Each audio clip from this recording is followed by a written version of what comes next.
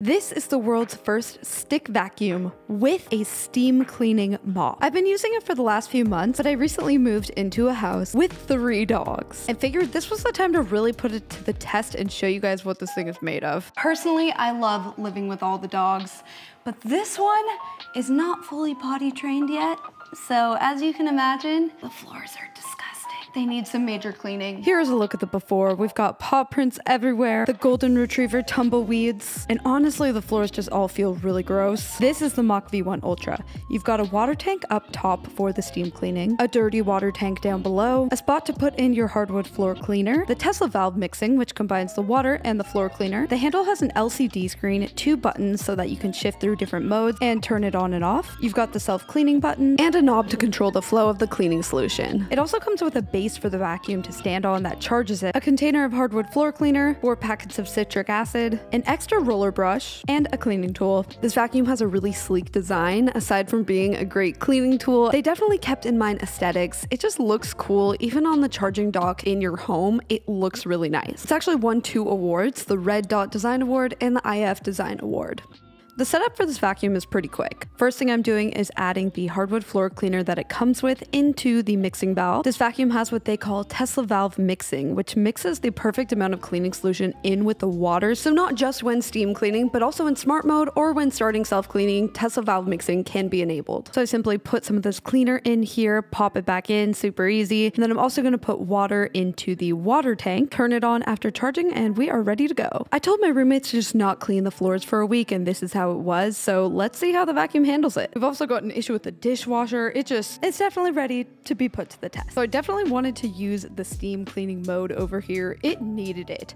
Once the red light is flashing, you know it's reached the temperature, you can pull the trigger and it will release the steam. It doesn't do this automatically for safety reasons, so you have to pull the trigger. What's really cool about this is you'll notice that it is suctioning as well. It's picking up all this stuff on the floor. It's picking up the tumbleweed. It actually didn't pick it up the first time, but the second time it did. But this saves you a lot of time because we are vacuuming and we are steam cleaning it with 230 degree steam at the same time. This steam is gonna eliminate 99.9% of the bacteria. So steam can be a really effective natural cleaner. Vacuum is TUV certified and EPA certified. Here's a look at the before again, just gross, right? And after. Looks way better, but this was a pretty easy spot, right?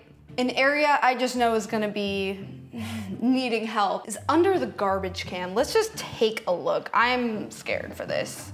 Yeah, that's pretty nasty. I'm gonna take a guess this area hadn't been cleaned in a while because there were a few little stains. Nothing major, it does look like your everyday sort of cleaning, but it does a really great job both picking things up and steam cleaning any stains off. So under the garbage can, check, can definitely handle this. Let's see how this does with wet and dry coffee stain. So I've got it on steam mode. You can't really see the steam in this shot, but you can see a layer being uncovered from this floor. And after two passes, it's got the coffee stain gone. I still had it on steam mode for the liquid part, but I would actually change that to suction. This was my first time using it on coffee, and for some reason I felt like I needed to vacuum it really slowly, but you actually don't need to go this slow. There is a fan that is helping to dry, but you can see it was able to fully clean up the coffee stain. Overall, steam mode does a really good job with stains. You can see this one here disappears in the first pass. Sometimes it takes two passes, but it's 230 degree steam, so it does a really great job at removing stains, old or new. But I wanted to give it an even more extreme challenge. So we've got some coffee here, hot sauce, coffee creamer, and a little bit of salad dressing. I think these are somewhat common things that you might spill in your kitchen, and they're definitely not fun to clean up and pretty challenging for the typical vacuum. I put the vacuum on smart mode. From experience, I found that's the best thing to do in this kind of situation. And pretty crazy, you can see it vacuumed up the coffee in the first go. It actually did this with all of them. So I'm just showing you guys in real time so you can see exactly how it did it with no like editing. You can see I'm not cutting it all or doing anything. It just is able to pick up everything in one go, which is pretty awesome. After picking up the initial mess, I also went through again in steam mode just to really sanitize it. Pro tip for you guys, if you hold the trigger, it will release steam and also maximize the suction power so that can really help with tricky messes.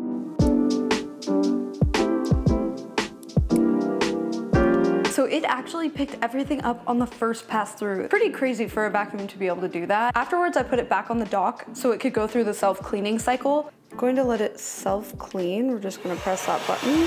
Because after cleaning up that much stuff, I do want to make sure the roller brush is extra clean. It is self-cleaning constantly while you use the vacuum, but I like to put it back on the dock after something like that just because it's gonna be a more thorough self-clean. They have a triple self-cleaning system for the roller brush. First, the Tesla valve releases some of the cleaning solution to clean the brush. The EcoClean ozone further minimizes odors and germs. And lastly, hot air is circulated to ensure that it's totally dry. Rather than a dust bin that you get with a lot of vacuums, this has a dirty water tank that you empty and I'll show you guys how to use it.